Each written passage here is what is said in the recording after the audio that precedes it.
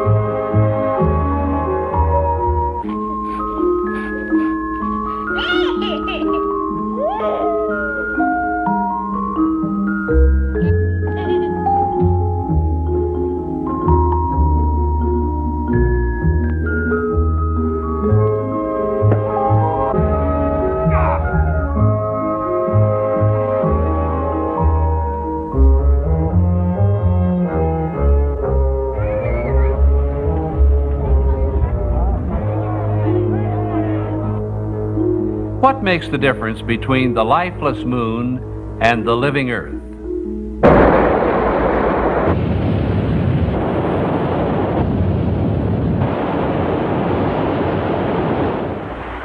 Water makes the difference. There's nothing else like water in the entire universe. And yet on Earth there's a great abundance of it. It covers about 70% of the Earth's surface.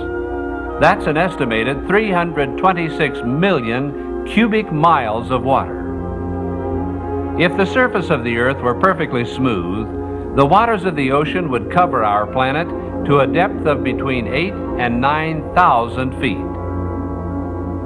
And while it's true that only a fraction of all the water on Earth can be called fresh water, or water suitable for our own personal use, that fresh water comes to us through a water cycle that daily lifts from the oceans millions of tons of water, leaving behind the salt and dropping the fresh water as rain upon the earth.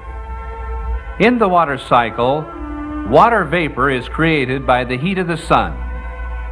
And the water, the sun, the air, and the force of gravity work together as they have for centuries to keep what is known as the water cycle going. Warm air is lighter than cold air, which causes it to rise. These clouds began as rising currents of warm air laden with moisture. Prevailing winds help the process along by pushing the moist air up steep mountain slopes. As the air rises, it cools. And as it cools, it contracts, literally squeezing out its moisture, which falls to the earth as refreshing rain. As the raindrops fall, they wash the air, absorbing carbon dioxide and reaching the earth as a mild solution of carbonic acid, or fresh water, needed for plant, animal, and human life to survive. Evaporation, condensation, and precipitation. These make up the water cycle which is continuous, occurring over and over again somewhere every moment of every day. 3,000 years before the principles involved were discovered by modern science, the Bible described the water cycle with amazing accuracy. All the rivers flow into the sea, yet the sea is not full. To the place where the waters flow, there they flow again. Think of the energy involved. More energy is expended in the water cycle every 24 hours around the planet Earth than man has been able to generate throughout the course of history. And the water cycling process is so successful that up till now, anyway, the most extraordinary thing about water is just how ordinary it really is. Vital to life, yet available in great abundance. And because of abundance, it's an easy thing to disregard the value of a substance. Ordinary water how much would you say it's worth? Actually, it's priceless. Did you know it takes 300 gallons of water to make one loaf of bread? 700 gallons for one barrel of petroleum? 4,000 gallons for one pound of beef?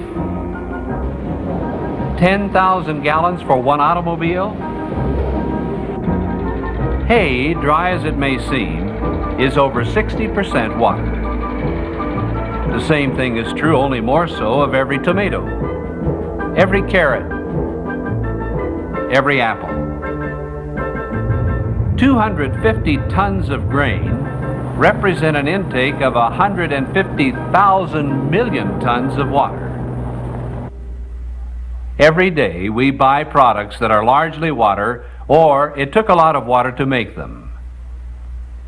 But even more important is the role water plays in the functioning of your own body. About 70% of the average human body is water. In one way or another, you keep losing this liquid, and if it's not replaced, and fairly soon, you will die.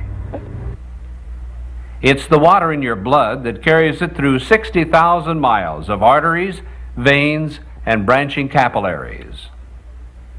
Water plays a major role in the digestion of your food. It serves to lubricate your joints.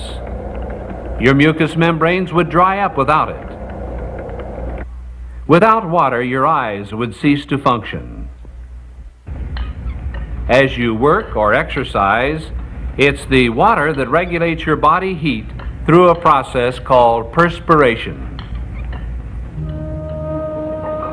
Right at this moment, as from the beginning of time, water is supporting life on Earth. And so far as we know, there is nothing else like it in the entire universe. It seems to have been expressly designed to make the planet Earth hospitable to life, your life.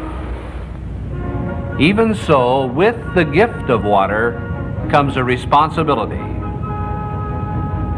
We've been so blessed with this gloriously abundant, yet tremendously vital substance that we drink it, bathe in it, walk through it, compete in it, take what we want out of it, dump what we don't want back into it, and hardly give it a second thought. Water, with its precise properties, is God's loving provision for our physical lives. God has also provided for our spiritual life. Long ago, Christ said, If you knew the gift of God, and who it is who says to you, Give me a drink, you would have asked him, and he would give you living water.